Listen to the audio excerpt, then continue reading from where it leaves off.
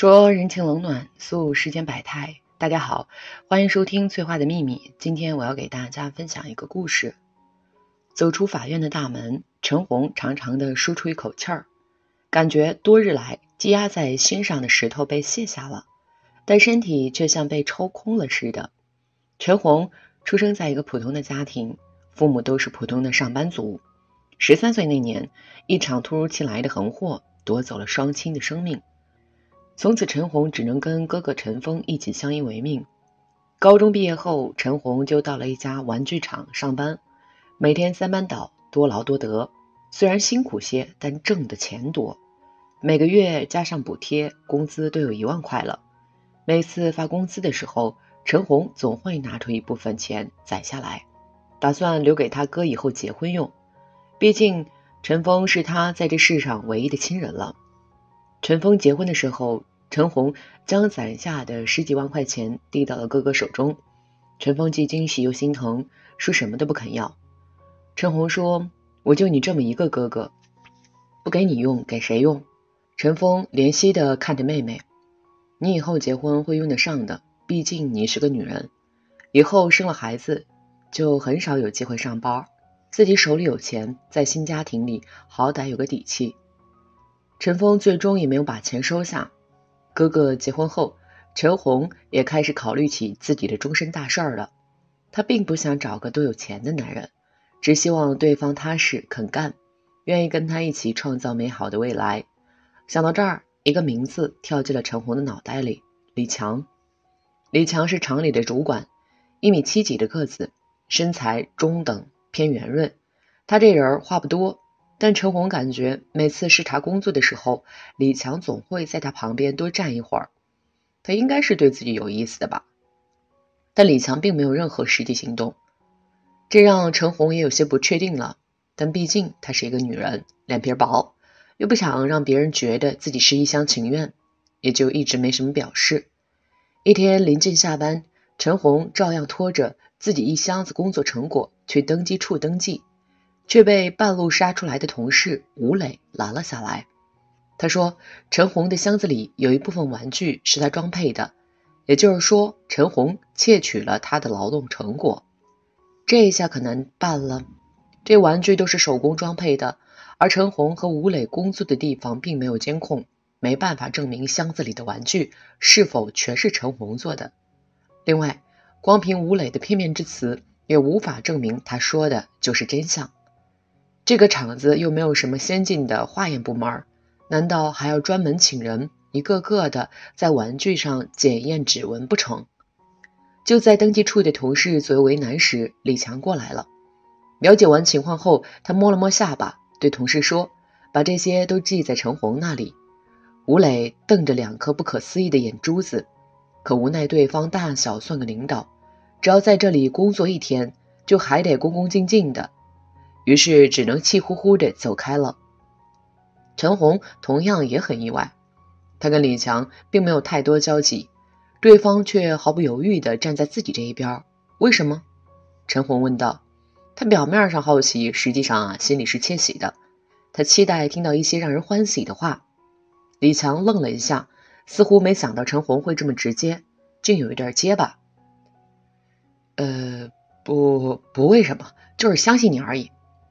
听了这话呢，陈红心里像是流过一股暖流。她第一次感受到来自除了亲人以外的偏爱，心里暖烘烘的。她大胆起来：“你有时间吗？我想请你吃饭。”陈红不想放过这次机会。好啊，李强意外中带着惊喜，想也没想就答应了。事情发展的很顺利。吃饭时，他们敞开心扉，向对方表达了自己的爱慕。一个月后，他们很快就结婚了。李强说想学做生意，陈红就拿出自己的积蓄交给李强，让他放心大胆的去做。李强激动地将陈红拥入怀中，感叹自己前世肯定是拯救了银河系，才换来这样一个好妻子。李强找熟人盘下了一个店面，准备做肠粉卖。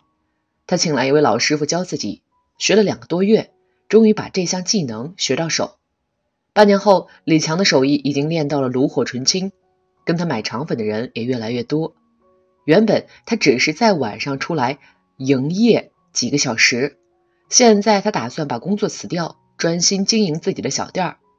陈红担心李强一个人太辛苦，于是也打算辞职了，过来帮忙。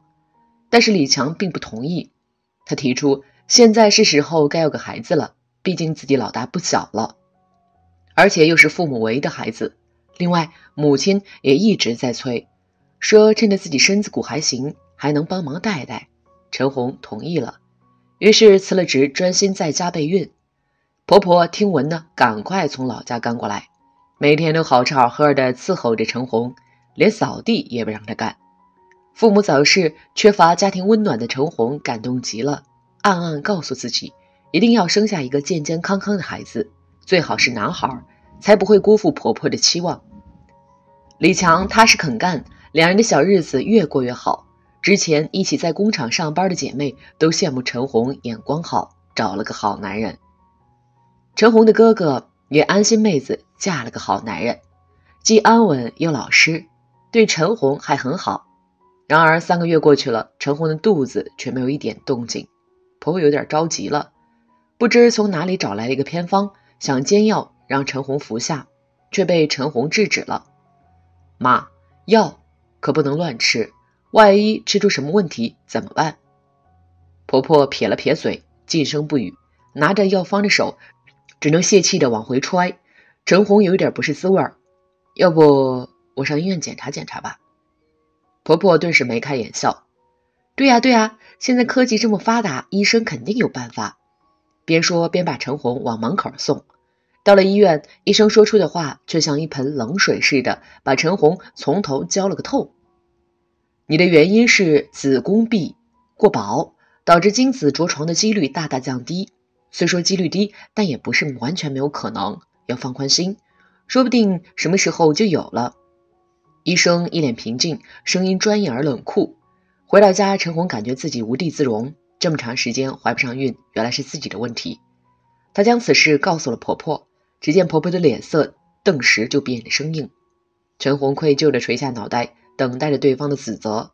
然而婆婆并没有说什么。但是第二天，她就搬回老家去了。陈红心情很是低落。老公，你说，要是我一辈子都怀不上，那该怎么办呢？别瞎说，李强嗔怪道。过了一会儿，他又开口道：“其实就算没有自己的孩子也没关系嘛，咱们可以领养一个。虽然不是亲生的，但只要我们用心养、用心教，不一定就比亲生的差。”陈红忍不住埋在李强怀里哭起来。她没有想到自己丈夫竟如此宽容大度，她决定实在是太幸运了，能嫁给这么一个好男人。那从明天开始，我就去店里帮忙吧。毕竟生孩子一时半会儿也急不了，我还可以帮你的忙。李强思考片刻就同意了。那好吧。于是陈红心满意足的在李强唇上印下了一个吻。李强防不胜防，僵了一下，随即翻身压在陈红身上。第二天，当陈红正要跟李强一起出门时，却被李强叫住了。我想了想，觉得你还是留在家里吧，毕竟那边的工作也不轻松。另外。现在天气要转热了，店里又没有空调，要是你中暑了怎么办？万一偏偏孩子在这个时候来了呢？咱们可不能冒这个险呐。可是，不说了，就这么定了啊！有事儿给我打电话，乖。李强亲了亲陈红的额头，连说话的机会都不给他，就走出家门了。面对空荡荡的房子，陈红心里也空落落的。昨晚上明明还说的好好的。一觉起来，李强就改变主意了，这让陈红多少有点不能接受。不过他还是安慰自己，毕竟是为了孩子嘛。转眼这样的日子呢，就过了三年多了，眼见着肚子还是有一点起色都没有，陈红越来越觉得着急，一着急就忍不住暴躁，看什么东西都觉得不顺眼。他抱怨李强把卫生间弄得到处是水，嫌弃他上床睡觉不洗脚。他渐渐的连滚床单都提不起兴趣了。一开始吧，李强也能理解陈红，毕竟一个人在家，没什么事儿做，也没人聊天，心情难免不好。可随着日子越来越久，陈红的脾气愈长，连李强都有点受不了了，忍不住跟他吵嘴：“你能不能不要老是无理取闹？”陈红火气也来了：“我无理取闹？当初你娶我的时候怎么不说我无理取闹？现在娶到手了就开始嫌弃？”还不是因为我生不出孩子？我可没说过这样的话啊，是你自己太神经质了，老是疑神疑鬼的。你敢说你心里不是这么想的吗？陈红挑着眉毛，一副居高临下的表情。李强无奈的叹了口气儿：“我们能别吵了吗？我真的很累，很想睡觉。最近店里挺忙的。”哼，你在怪我？怪我不去给你帮忙是吧？当初我有想过去帮你的，是你自己不要的。陈红的眉毛挑得更甚，仿佛要往头顶冲去。李强见沟通不下去。只得拿了铺盖到客厅睡，留下了陈红一人独守空房。陈红心里的气儿没处撒，只得躺在床上干巴巴的瞪着天花板。半夜，陈红被一声响声给惊醒了，他猛地睁开眼睛，寂静的黑暗中又好像什么都没有发生，只是门缝底下隐约有一丝光亮。他悄悄地打开房门，只见阳台上李强耸着脖子，背对着他在打电话，一声娇滴滴的。强哥，随着夜风轻飘飘的送进他的耳朵，陈红心里警铃一响，想要走近再听个究竟，不料踢到扫把。李强听到声响，瞬间转过身来：“你在跟谁说话呢？”陈红皱着眉头问道：“就是店里的老顾客而已，说明天要带一群人来吃肠粉儿，让我早点做准备。你回去睡吧，不用管我。”李强说完，又对着电话说。是我老婆，行，那明天见。见李强挂了电话，又钻进自己的铺盖里，陈红也只好返回卧室，带着一丝疑虑入睡了。第二天，李强什么也没说，就去店里了。随后的日子里，两人更是交流的少了，连夫妻生活都免了。但是谁也没有开口去打破这个僵局。几个月后的一天，李强将一纸离婚协议放到了陈红眼前，陈红张着嘴巴，有点不敢相信。他颤抖着问：“你外面有人了？没有的事儿，那是为什么？你觉得这样的生活继续过下去还有什么意义吗？”李强平静直视着陈红的眼睛，像是没有看见他眼底的泪水。既然彼此都不快乐，还不如早早分开。再说，我现在这情况也给不了你想要的生活。什么意思？前段时间我拿了钱去搞投资，现在钱赔光了，只剩下那个店面。李强把手伸向了上衣的口袋，我把店卖了，凑够了十几万给你，算是还了你当初给我的钱。要是你觉得不够，我再去凑。陈红看着李强递过来的银行卡，脸上终于落下了泪来。看来对方是有备而来的，连善后工作都做好了。其实这段时间，陈红也想了很多，他已经厌倦了这样的生活，他不想只待在家里备孕不工作，就像一只等待下蛋的母鸡。更何况，他这只母鸡能不能下蛋还两说呢。陈红收起了喉中的哽咽，收下了银行卡，看也没看李强。就这样吧，两人干脆的离了婚。原本陈红以为有生之年再也不会跟李强有任何瓜葛了，可是之后发生的一件事儿，却让他不得不警惕起来。那天，陈红去医院看病，出大门的时候，看见前面有两个熟悉的身影，居然是李强和他妈。而他们一左一右搀扶的那个人，竟然是一个孕妇。只见李强他妈小心翼翼地扶着孕妇，让她小心脚下，脸上还眉飞色舞的，怕是他的新儿媳妇儿吧？陈红不禁苦笑，只觉得钱婆婆脸上的笑容呢，刺眼的很。突然，陈红像是在意识到了什么，顿时一股寒意从脚底涌起，因为她看到那个孕妇的肚子起码有七八个月了，而她跟李强离婚不过才三个月。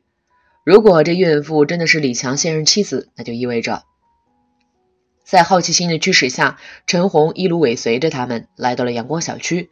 这里可是市内数一数二的小区，兜里没个百万块啊，是没法在这住的。就算是租金也不便宜吧？陈红忽然想到了什么，拿起手机上了个小号微信。这个微信是他整天憋闷在家胡思乱想那阵子申请的，特意偷偷加了李强，就是想偶尔监视他。是不是在外面有什么问题？自从离婚后，陈红已经很久没上过了。点开李强的朋友圈，果然在里面看到了李强发的一条关于新房子的内容，而且该内容的定位消息正是阳光小区。这些陈红平时用的微信上全都没有看到过。陈红回忆起以前的日子，她跟李强结婚后就一直待在家中备孕，肠粉店的情况她并不清楚，也很少过问。所以当李强告诉他自己投资失败，把店卖了时，他没有一丝一毫的怀疑。陈红眼睁睁地看着他们三个人相拥着进了小区的门儿，他颤巍巍地拿起手机。公园的长椅上，陈红拿着拍下的照片，向李强要一个解释：“你误会了，那房子不是我出钱买的，是我爸他中彩票了。”李强脸不红心不跳地说：“真的。”陈红本来想让对方解释一下那个女人的来头，没想到李强一句话也不提。我骗你干嘛？我要是想骗你，当初为什么还要把十几万还给你？我留下自己用，不香吗？李强皱着眉头，急急地辩解道：“那个女人怎么回事？你都看到了，还问我干什么？看来那孕妇真的是李强的新欢，而且他们早在陈红还没有离婚的时候就已经苟且上了。”两个月后，李强在产房里抱着儿子喜笑颜开。几个小时后，他就笑不出来了。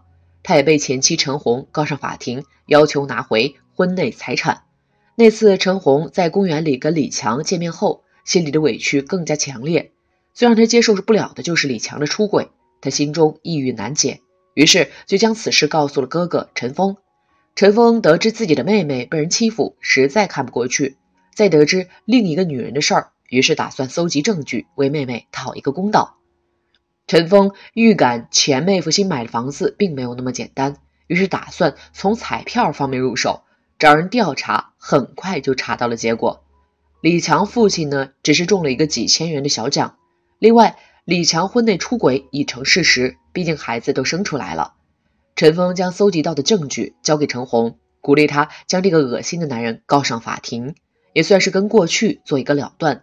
最后，陈红追回婚内财产。即赔偿六十六万元。走出法院，陈红看着湛蓝的天空，心中泛起了些许唏嘘。也许一开始李强确实是爱她的，但世事难料，孩子成了横在他们心中的一根刺。李强嘴上说着不介意，但心底里还是摆脱不了“不孝有三，无后为大”的遗憾。又或者是陈红日复一日的暴躁，才使李强凉了心。无论如何，他既然跟另外一个女人上了床。就不该将她蒙在鼓里，隐瞒财产，还让她觉得自自己生不了孩子，而满心内疚，把他耍得给团团转。这样的男人看清了也好。好了，今天的故事呢就到这里了。如果你有喜欢的故事，记得在视频下方留言，我们会尽力满足您的需求，期待下次与您的分享。最后想跟大家说，现在翠花已经正式开通了 Facebook，点击说明里的链接关注就可以私信给我了。翠花非常期待与大家的互动，在这里你永远不会孤单。